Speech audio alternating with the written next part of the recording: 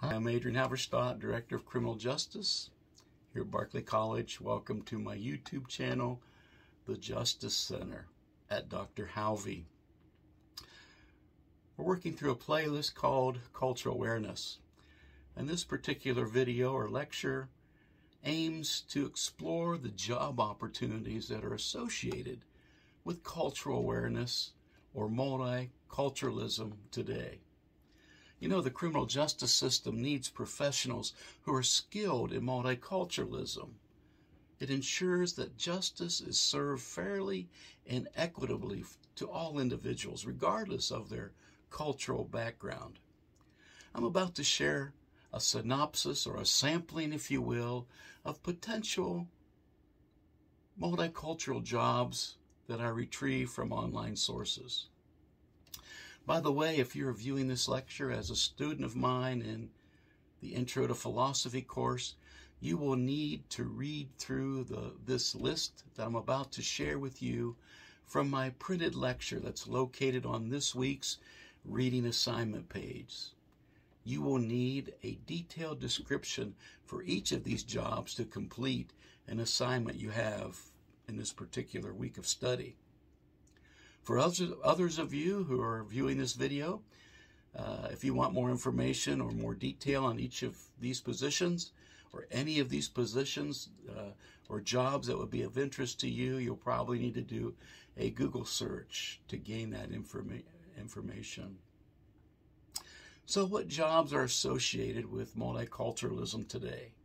Let's look at jobs that are in private industry. First of all, there's diversity and, and inclusion manager. Second, there's cultural liaison officers. Three, there's victim advocates. Four, there's immigration and custom enforcement officers. Five, there's community outreach coordinators.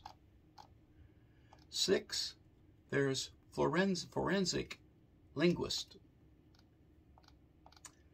Seven, there's restorative justice facilitators. Eight, multicultural marketing managers. Nine, cross-cultural trainers. Ten, international business consultants. 11, multicultural affairs coordinators. And 12, bilingual customer service representatives. What about the government? What positions does it have? One, multiculturalism policy analyst.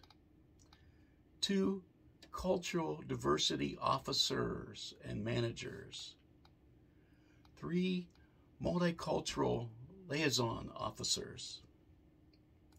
Four, ethnic affairs officers. Five, diversity and inclusion officers. Six, human rights officers. And I'm sure there's many more as you delve into this in your studies. What about nonprofit organizations? Many nonprofit organizations worldwide need professionals who are skilled in multiculturalism to promote diversity, equity, and inclusion within their organization and to work with diverse communities to promote positive change. Here's a sampling of some of those opportunities today. One, diversity, equity, and inclusion specialist, known as DEI specialists.